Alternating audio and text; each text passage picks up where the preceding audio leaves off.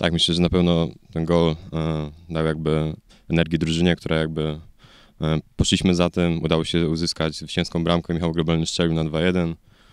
Nic, tylko się cieszyć i pracować dalej, przygotować się do następnego meczu. Kiedy się wyrównuje, e, kiedy się przegrywa i udaje się uzyskać tą bramkę na remis, na wygraną, zawsze jest dodatkowa energia.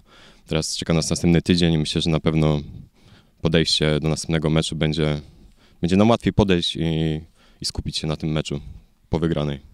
E, Jeśli jedzie się na wyjazd, zawsze przeciwnik stawia wysokie warunki, e, dlatego liczymy, że będzie na pewno to mecz walki, ale myślę, że jest, jest to przeci- przeciwnik w naszym zasięgu i liczymy na wygraną.